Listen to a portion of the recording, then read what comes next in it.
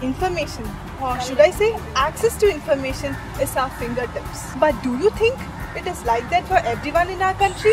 The answer is no. We are a population of 140 crore and 60% of this population is dependent on agriculture. These are the people who are responsible to bring food on the table. Given that India has become more vulnerable to the changing climate and disasters over the past 20 years, this is the same community which is being exposed. Neetu, a farmer from Madhya Pradesh, was unable to protect her crop because she did not know which pest attacked it. Also, Shiv Shankaran, a fisherman from Tamil Nadu, has faced wrath of Bay of Bengal multiple times because he was unaware about the extreme sea conditions. Many such Neetu and Shiva Shankaran are in need of better information to make the right decisions. This information is many times not available to our community. Issues faced by them does not reach the resource organizations. Information communication technology has the potential to bridge this critical gap.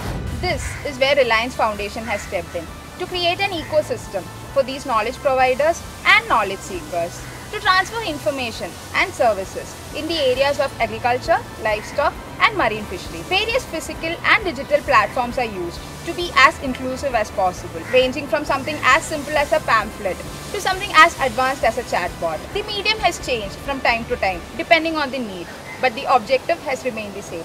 That is to improve the lives and livelihoods of the rural community. The program has been able to reach 1 crore people in the last 10 years. As per the impact studies, 94% of the farmers who have made changes to agricultural practices according to the advisory given by RF have been able to avert their losses. 83% of fishermen have been also able to decrease their losses due to calamity.